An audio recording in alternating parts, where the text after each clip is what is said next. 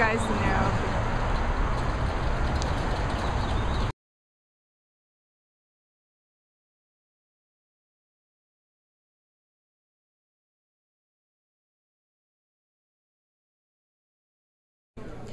Even in Washington, D.C., you can step foot on foreign soil, as we did recently at one of our favorite destinations, the Embassy of Finland. Over the years, we have enjoyed many private events at the Finnish Embassy, but this event was bittersweet. Bitter because we said goodbye to someone who has hosted us on many occasions, Ambassador Pekka Lintu and his wife Laurel. Sweet because we celebrated the opening reception of a new exhibition called Lightworks by artist Stefan Lindfors. These lightworks represent abstract stories beyond industrial reasoning on one hand, latest eco-like technology and user-friendly design on the other and the pieces on display at the embassy are an example of works where form follows concept and light follows function.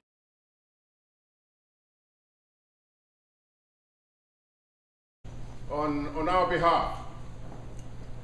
And I would first like to say that, as some of you know, time is approaching when Laurel and I start to move, start to move on from Washington, D.C. Oh, no. oh yes, yes. Well, we have been here for five and a half years, and they have been very busy, but I would say busy in in a positive sense for us. They have been interesting, they have been enriching, though not in a material sense, and we have truly enjoyed these years. When, from the beginning, for us, this embassy building has been a source of inspiration, a kind of embassy I always wanted to lead one day. Of course, we have, this is our chancery, and, and I, I can tell you that it is really nice to come to work in this kind of a environment every day. But that is not all. This is not only a chancery, this is, as you can see, this is a multimodal place, multimodal building. We are organizing a lot of seminars, a lot of other kind of events. But of course, we are also organizing a lot of cultural events because we think that this building is, is really perfect for cultural events like concerts, exhibitions, you name it. And during our time we have organized here, as my predecessors have organized here, many exhibitions. And uh, I don't go through, I, I, am not going to go through all the list, but I, I, just mentioned a few of my favorites, which have been the, some of you might remember them because I guess you have been there, like the uh, Finnish architects' summer homes, like the exhibition on wooden architecture. Also, you might, you might also remember the, the funny ducks by Kai Stenvall and also the Ars Fennica, I think it was 2007. Just I mentioned a few examples which come to my mind. We had many others, and Laurel and I are, have liked them all, of course, because we were at the kind of a selection, selecting end. But, uh, and we are proud of them all. But I also wanted to say that we are very happy that you have come to support us by being present in, in many of those uh, events, many of those exhibitions, and we really thank you very much for, for that. Well, another way of, that, that this building has been an inspiration to us is that we have wanted to do something about it. We have always liked it very much, and it's been a visit card for us but Laurel and I wanted to do something more about it, and this is how we ended up in, in, in doing the greening work for, for this embassy, rather early. And I will not go through the whole history because I think some of you have heard it before and some of you have heard it many times. Yeah. But I'm, I'm not tired re of repeating it anyway. But I, I'll take the shortcut version. The bottom line is really that after a few years of intensive work in 2010, early 2010, we achieved the LEED Gold certificate for, for green building. from the US uh, Green Building Council. And that was, we were, I think we still are the first embassy in Washington DC to have that status. So and only, only. Yes.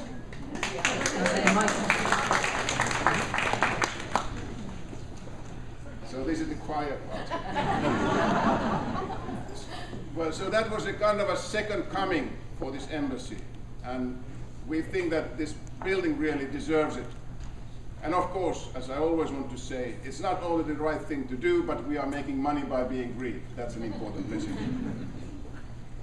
so now this Lightworks is a perfect fit. This exhibition, Lightworks, is a perfect fit, in my opinion, to this embassy, and I'm truly happy to inaugurate it as, as, as the last big exhibition for us here in Washington, D.C., at the embassy.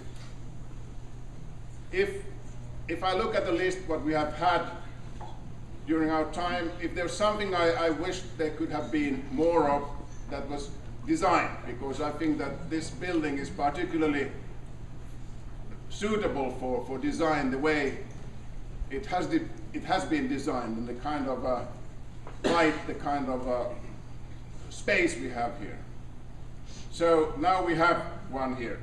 And uh, this is not, as you can see, this is not really only about classic design and this is something between sculpture design and something else. And I think that Mr. Lindfors himself will explain what, what, how he sees it. But I mean, to me, this is really interesting. It is very much present in our time, and it's exciting. So I, I, I really love to have this exhibition here. But there's also a special connection to this embassy, or maybe two. One is that Mr. Lindfors is for the first time here at, at this embassy. Early on, when this embassy was inaugurated in, in uh, 1994, in 1996 we already had his exhibition here in Washington, D.C. And it was a big success. So of course we were happy to welcome him here again. But then there's the second connection, and that is that the light works and an, an important element of that Lightworks is that these lights are LED lights. Mm-hmm. Almost all of them, the others are energy saving lights, but I mean, this is, I, I guess oh. Stefan will, will explain you. No, I no, I won't, so you go ahead. okay, I will just say that we have, this embassy is a LEED certified building. LEED with two E's. Yeah. That is leadership in energy and environmental design. But these lights are LED lights, which, if I remember correctly, is, is light emitting diodes. Yes. But it's a very energy conserving method of, of, of making light today. And that is the kind of environmental, the green part of this of, of, of, this exhibition that really pleases us, and, and, I think it's, it's nice to have here at, the, at this Green Embassy, uh, in addition to all the other merits that, that this, uh, that this uh, exhibition has. So, once again, I want to, no. One only, okay. No, I just wanted to, before we hand over to Stefan, I wanted to just to give my own welcome and farewell in case some of you um, who I don't have the pleasure of seeing again before we leave. But I also, just one point to annotate my husband's remarks was that yesterday we had a rather high level luncheon here and some of the lamps were already up. And most of the people were, were guests who had not been here previously and they presumed that these, this installation was part of our regular decor. So really? I, would, uh, I, I, just wanted to say to, to, Stefan that I think the Finnish government would be very receptive if you wanted to Thank you. So that was uh, unexpected. Very. But, but well said. Anyway, once again, thank you for all of you for, for coming. I hope you will in, enjoy your evening. But now I would like to hand over to Stefan so you can hear about, I guess you would say a few words about yourself, your background. Surprisingly. And, and, uh, and then, of course, about this exhibition. So thank you, Stefan, for coming.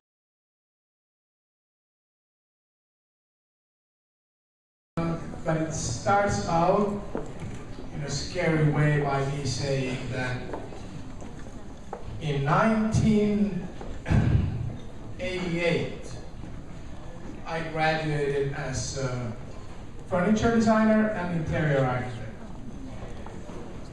Now, that all made sense, but what did not make sense to me was that in, in, in, in at the University of Industrial Arts and Design in Helsinki, everyone who went to a specific department was supposed to stay within those perimeters and do only that. And then we had uh, fashion design, then we had ceramics, then we had uh, industrial design, and so on and so on and so on. And to me, all of this was sort of the same thing.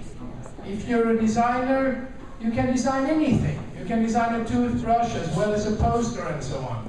So I rummaged on in all these departments, semi-illegally. I made keys, you know, and, and was able to get into all these other places when other people were asleep and the school was closed. So I, I sort of worked around uh, all the fields within that industry that I found interesting and where I felt comfortable and at home. Um, this was a little bit too much for the, the, the, teachers, for the audience at the beginning, at, at the early 80s. Uh, but then, on top of that, I also felt that I needed to have this other channel for communicating, uh, you know, things to the audience, which I couldn't find within industrial arts. And so I needed the fine arts side as a balance. And of course, due to the fact that I was building things as a furniture designer and as an industrial designer and all that, on the fine arts side, I started working with things that we generally call sculpture.